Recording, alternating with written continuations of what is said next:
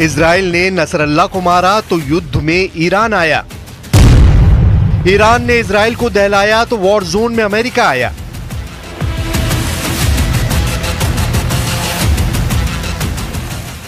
America के युद्ध में आते ही क्या पुतिन ने खाड़ी में दी दस्तक?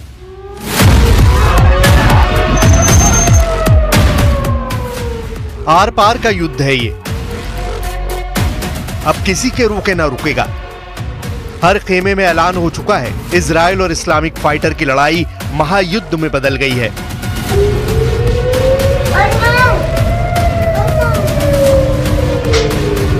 भीषण हमले शुरू हो चुके हैं। हाइपरसोनिक मिसाइल फट रही हैं। जैसे लेबनान दहल रहा है, वैसे ही इसराइल में कोहराम मचा है। ईरान के हमले के बाद इस युद्ध में अमेरिका ने भी दमदार एंट्री कर ली है।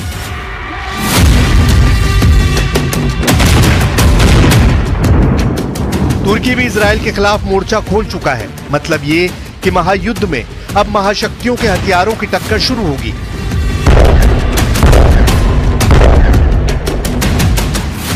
इसराइल को 181 फतेह मिसाइल हमले से दहलाने के बाद ईरान ने जो ऐलान किया है, उसने पूरी दुनिया को खतरे में डाल दिया है।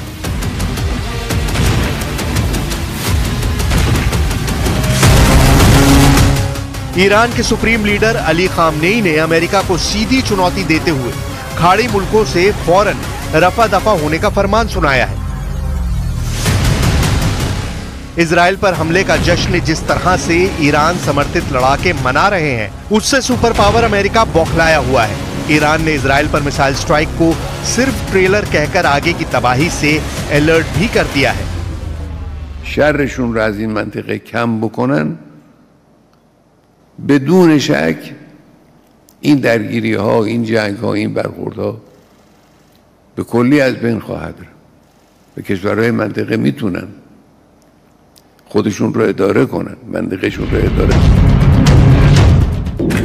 तेहरान के सीक्रेट लोकेशन से खामनेई के मैसेज आने भर की देर थी कि कई मुल्कों में हाई लेवल मीटिंग शुरू हो गई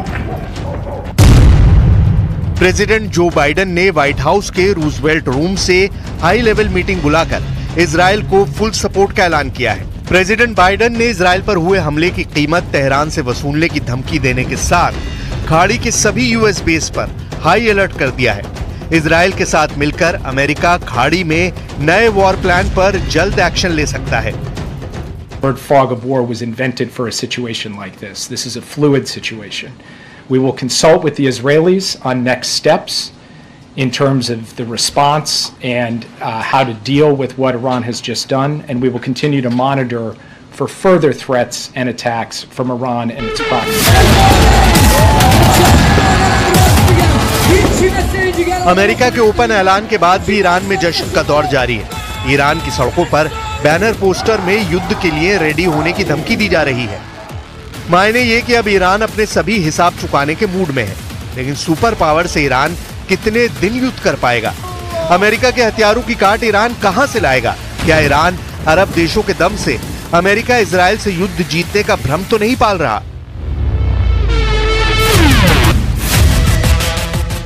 ईरान के दुस्साहस की असल डिटेल जानने से पहले अरब वर्ल्ड से आया ये मैसेज भी सुन लीजिए। मैसेज है सऊदी अरब का। मैसेज है ईरान के जिसमें साफ कहा गया है कि सऊदी अरब खाड़ी में वॉर टेंशन को बढ़ने नहीं देना चाहता At, uh, the escalation that we've seen, uh, but I will generally refer anyone who's interested to the Ministry of Foreign Affairs because they are uh, uh, designated to comment on this. However, um, looking at the global economy as a whole, looking at our region, uh, we it is clear is operating at a loss.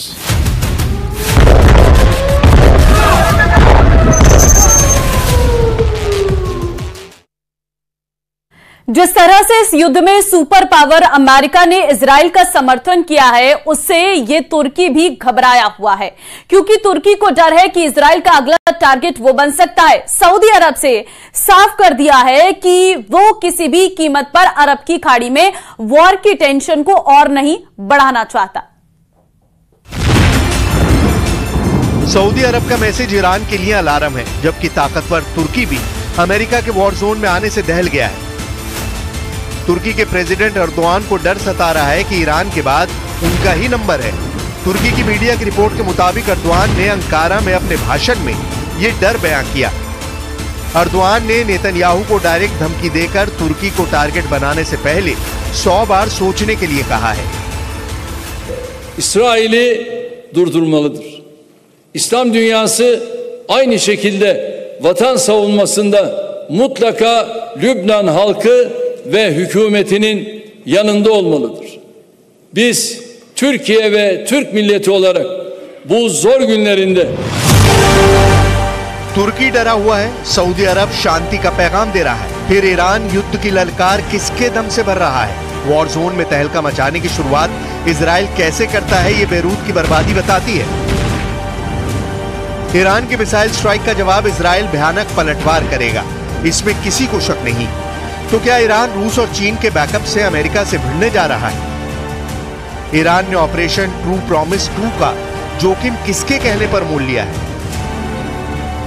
पश्चिमी media reports में इसको लेकर जो दावा किया जा रहा है, वो बेहद डरावना है।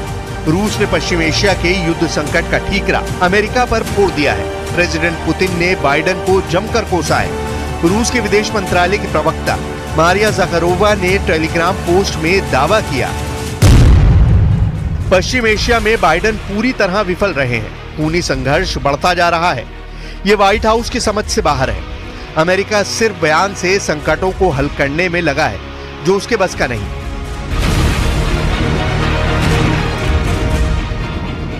इसराइल के हमले के बाद लेबनान को राहत पैकेज भेजकर रूस ने अपना स्टैंड क्लियर कर दिया है। खाड़ी युद्ध में फ़िलहाल रूस ईरान खेमे में है। चीन पहले ही ईरान को सैटेलाइट डील करके मदद पहुँचा रहा है। लेकिन वॉर जोन में ये दोनों देश ईरान के साथ उतरेंगे, इसकी कोई गारंटी नहीं है, खासकर चीन। उधर अमेरिका तय कर चुका है कि अब की बार ईरान का पक्का इलाज करेगा। ईरान को घुटनों पर लाने में अमेरिका और इसराइल को ज़्यादा ज़ोर भी नहीं लगाना पड़ेगा। अमेरिका इसराइल को हर तरह से मदद पहुंचाता है। हमास पर बरस रहे मिसाइल हों हिजबुल्ला के अड्डे पर फट रहे रॉकेट हों या फिर हूती विद्रोहियों को दहला रहे जंगी जेट। ये सभी हथियार मेड इन अमेरिका हैं। इसराइल सुपर पावर के दम पर सभी दुश्मनों से अकेले लड़ रहा है। ऐसे में ईरान ने अगर इसराइल में घुसकर हमले की हिमाकत दिखाई तो अमेरिका को ईरान को सबक सिखाने में वक्त नहीं लगेगा। अमेरिका के 100 सैन्य अड्डे खाड़ी के देशों में हैं, जहाँ करीब चालीस हज़ार जवान तैनात हैं। बहरीन में मौजूद ईसा एयरबेस को अमेरिकी वायुसेना संचालित करती है। बहरीन में अमेरिका का बड़ा मिलिट्री बेस भी मौजूद है।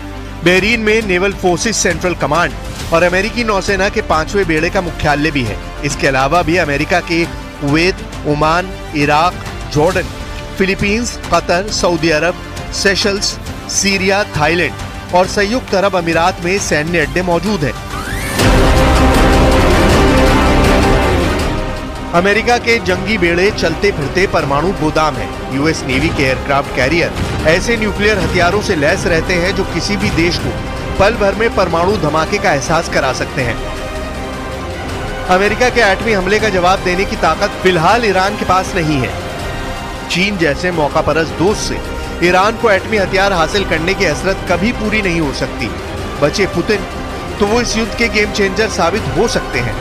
जिन्हें दुनिया मोस्ट पावरफुल लीडर कहती है।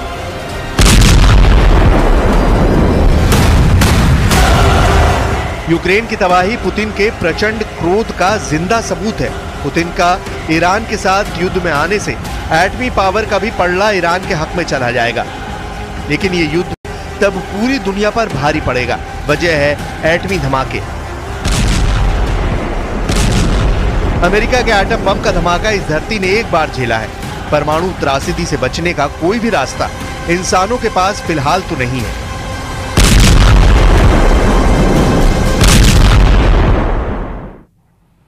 ईरान को जवाब देने से पहले इसराइल को ग्राउंड ऑपरेशन में बहुत बड़ा झटका लगा है। हिजबुल्ला के खिलाफ क्या इसराइल ये युद्ध जीतेगा या फिर हारेगा? इन सवालों ने नेतन्याहू को तब परेशान कर दिया। और इस वक्त इसराइल के एक साथ सैनिक, एक लाख सैनिक जो है, लेबनान बॉर्डर पर खड़े हैं। और पहले ही हमले में हिजबुल्ला ने बड़ा झटका दे दिया है।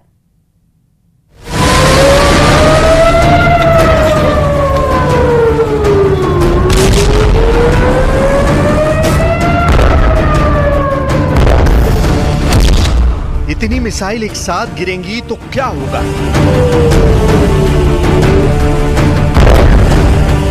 ईरान के एक हमले ने एक अक्टूबर को पूरी दुनिया को बदल कर रख दिया है। इतनी मिसाइल से एक साथ बचाएगा कौन? इतने बड़े हमले के बाद इसराइल के सामने सबसे बड़ा सवाल, ये मिसाइल नहीं, बल्कि नेतन्याहू के सामने इससे भी बड़ा चैलेंज खड़ा हो चुका है।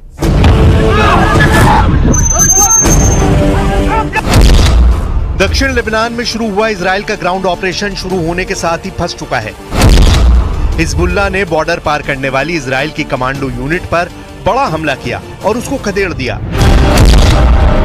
मीडिया में ऐसा दावा किया जा रहा है कि इसराइल का ग्राउंड ऑपरेशन पहले दिन फेल हो गया है।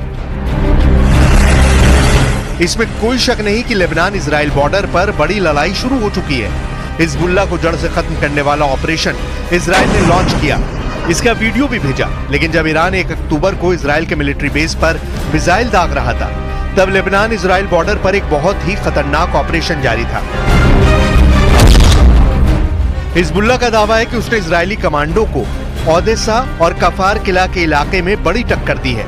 उसके कई कमांडो मारे गए हैं, कई घायल हुए हैं। पॉइंट ब्लैंक रेंज से भी हमले का दावा किया गया है। एक तरफ़ नेतन्याहू का लेबनान के खिलाफ ग्राउंड ऑपरेशन है तो दूसरी तरफ़ ईरान की तरफ़ से इसराइल पर मिसाइल अटैक इसराइल इस वक्त बहुत ज़्यादा प्रेशर में है। इसराइल को तेहरान को भी जवाब देना है और लेबनान में भी ऑपरेशन करना है। नेतन्याहू इस वक्त कई मोर्चों पर घिर चुके हैं। इस खबर से बाइडन बहुत ज़्यादा बेचैन है और आगे इस युद्ध का अंजाम क्या होगा? इसे लेकर मॉस्को में बैठे व्लादिमीर पुतिन भी टेंशन में है। इस वक्त दुनिया में चार पावर सेंटर तैयार हो चुके हैं। जो इस युद्ध का फैसला करेंगे। वॉशिंगटन डीसी में व्हाइट हाउस क्या अमेरिका इसराइल की मदद के लिए डायरेक्ट इस युद्ध में कूदेगा? इसराइल की राजधानी तेलवीव में क्या फैसला होने वाला है? तीसरा शहर ईरान की राजधानी तेहरान जहाँ सुप्रीम लीडर अली खामनेई का वॉर रूम बड़े फैसले ले सकता है। और चौथा शहर है रूस की कैपिटल मॉस्को जहाँ से अब सिर्फ़ यूक्रेन नहीं, बल्कि ईरान इसराइल के मोर्चे को भी मैसेज पहुँचाया जा सकता है। इस वक्त पूरा पश्चिम एशिया महायुद्ध के जलते हुए तवे पर बैठा हुआ है। नीचे आग सुलग रही है। बम मिसाइलों और ड्रोन के हमलों से इस बार ऐसी तबाही की गारंटी दी जा रही है कि तलवीव से लेकर तेहरान तक दहशत फैली हुई है। ईरान के हमले के बाद अब गेंद इसराइल के पाले में।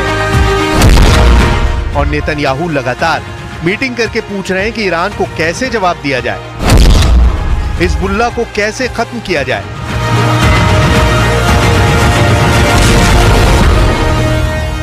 El caso del Líbano insistimos en que la invasión terrestre debe detenerse, ya que han llegado informaciones muy preocupantes esta mañana, y España está firmemente comprometida con la aplicación de la resolución 1701 del Consejo de Seguridad de Naciones Unidas. Esta resolución sigue conteniendo a día de hoy todos los elementos necesarios para resolver esta crisis. 2024 में सितंबर का महीना पश्चिम Asia में नई आग लेकर आया, जब Beirut में हिजबुल्ला चीफ हसन नसरल्ला को इसराइल ने एयर स्ट्राइक में खत्म कर दिया। इसके बाद पहली अक्टूबर को ही ईरान ने इसराइल पर हमला कर दिया। सवाल है कि क्या इसी महीने अमेरिका और रूस भी इस युद्ध में कूदेंगे और महायुद्ध शुरू हो जाएगा? अगर अमेरिका इस युद्ध में कूदेंगे तो क्या होगा? ये बड़ा सवाल है। और क्या यही से दूसरे तीसरे विश्व युद्ध की शुरुआत होगी? ये कई ऐसे सवाल हैं जिसका जवाब हर कोई जानना चाहता है। और इस वक्त दुनिया अलग खेमों में बटी हुई है और अलग अलग मोर्चे पर युद्ध भी लड़े जा रहे हैं।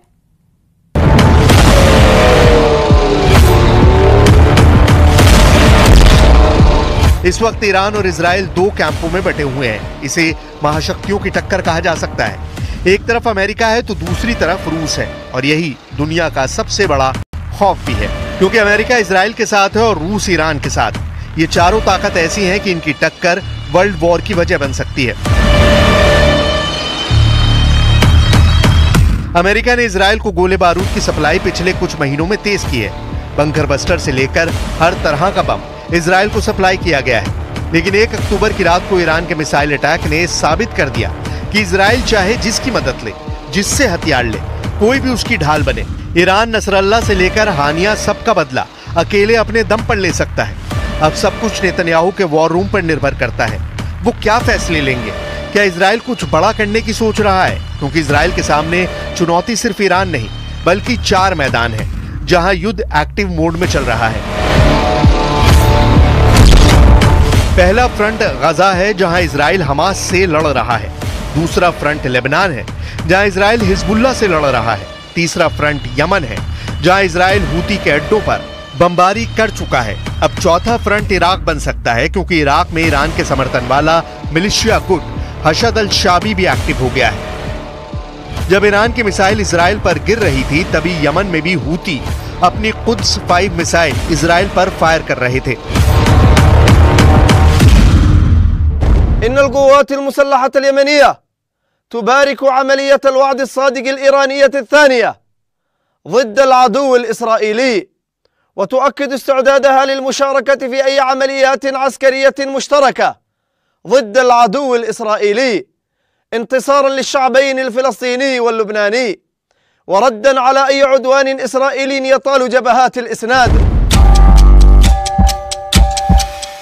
मोर्चे बढ़ने से इसराइल के ग्राउंड ऑपरेशन की कामयाबी पर सवाल उठने लगे हैं। एक अक्टूबर की रात ईरान के मिसाइल अटैक ने इसराइल के ग्राउंड ऑपरेशन को मुश्किल में डाल दिया है। अमेरिका को भी खतरा है कि इसराइल का हाल फिर वर्ष 2000 और 2006 जैसा ना हो। अमेरिका पहले भी कह चुका है कि वो नहीं चाहता कि गाजा के अलावा इसराइल किसी दूसरे फ्रंट पर लड़ने के लिए मजबूर हो जाए। I think it's uh, certainly not very realistic because uh, that was the claim in 2006 with the other um, war on Hezbollah in the south of Lebanon, and it took um, almost a month um, uh, to get um, you know ceasefire and end of the aggression on, on both sides. So I think it's going to take a long time, particularly that uh, ground invasion uh, will involve element of Hezbollah who are very well trained in guerrilla warfare.